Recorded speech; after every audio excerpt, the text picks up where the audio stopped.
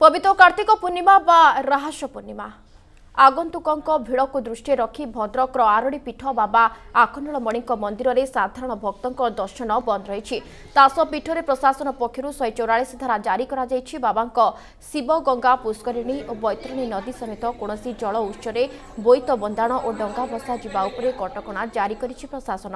ଅନ୍ୟପଟେ କୋଭିଡ୍ ନିୟମ ଅନୁଯାୟୀ ପାଳିଆ ସେବାୟତ ଓ ଅନ୍ୟ ସେବାୟତଙ୍କ ଦ୍ୱାରା ସମସ୍ତ ନୀତିକାନ୍ତି ସମ୍ପନ୍ନ କରିବା ପାଇଁ ପ୍ରଶାସନ ପକ୍ଷରୁ ପରାମର୍ଶ ଦିଆଯାଇଛି। ପବିତ୍ର କାର୍ତ୍ତିକ ପୂର୍ଣ୍ଣିମା ଦିନ ବାବାଙ୍କର ହରଗୌରୀ ବେଶ ସହ ଅନ୍ୟାନ୍ୟ ନୀତିକାନ୍ତି ରହିଛି।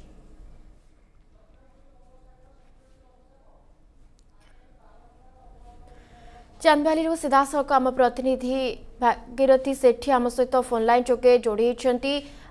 ଭାଗୀରଥୀ ଜାଣିବାକୁ ଚାହିଁବୁ କୋଭିଡ୍ କଟକଣା ଭିତରେ କ'ଣ ସବୁ ବ୍ୟବସ୍ଥା କରାଯାଇଛି ବାବା ଆରଡିଙ୍କ ପୀଠରେ? ଦେଖନ୍ତୁ ଆରଡିର ଯୋଉ ବାବା ଆଖଣ୍ଡଳ ପୀଠ ରହିଛି ରାସ ପୂର୍ଣ୍ଣିମା ପାଇଁ ହଜାର ହଜାର ଭକ୍ତଙ୍କ ଭିଡ ଲାଗିଥାଏ। ଅ, ଯୋଉ ଶିବଗଙ୍ଗା ପୁଷ୍କରଣ ରହିଛି ସେଠି ଲୋକମାନେ ବୁଡ ପକେଇଲା ପରେ ରାସ ପୂର୍ଣ୍ଣିମା କାର୍ତ୍ତିକ ପୂର୍ଣ୍ଣିମା ଦିନ ବାବାଙ୍କୁ ଦର୍ଶନ କରିଥାନ୍ତି ବାବାଙ୍କର ଯୋଉ ହରଗୌରୀ ବେଶ ଯୋଉ ରହିଛି ବାବାଙ୍କର ଦର୍ଶନ ପାଇଁ ଲ- ଯୋଉ ହଜାର ହଜାର ସଂଖ୍ୟାର ଭକ୍ତଙ୍କ ଭିଡ ପାଇଁ ଅ, ଜିଲ୍ଲା ପ୍ରଶାସନ ପକ୍ଷରୁ ସମ୍ପୂର୍ଣ୍ଣ ଭାବେ ବନ୍ଦ କରାଯାଇଛି ଏବଂ ସେଥିପାଇଁ ଏସିପି ମଧ୍ୟ ଏସବୁ ଜାରି କରାଯାଇଛି ପ୍ରଶାସନ ପକ୍ଷରୁ। ଯେପରି ଅ, ଭକ୍ତମାନେ ଭିତରକୁ ନ ଯାଇ ପାରନ୍ତି ଏବଂ ଖାଲି ନିର୍ଦ୍ଦିଷ୍ଟ କିଛି ସେବାୟତ ମାନଙ୍କ ଦ୍ୱାରା ଯାହା ନୀତିକାନ୍ତି କରାଯିବା ପାଇଁ ମନ୍ଦିର ପ୍ରଶାସନ ପକ୍ଷରୁ ନିଷ୍ପତ୍ତି ନିଆଯାଇଛି।